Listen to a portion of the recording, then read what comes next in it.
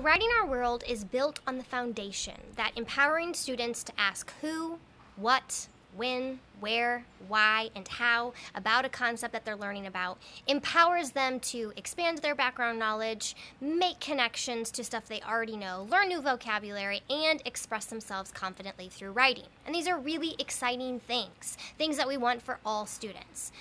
So, since this platform is all about writing our world, I thought I would take you on a similar journey, walking you through the who, the what, the when, the where, the why, and the how behind writing our world to help you truly understand what it is, what it isn't, who it's for, and how we believe it can be a part of the writing revolution that is happening across our nation right now in response to all that we are learning about what it means to actually learn how to write well.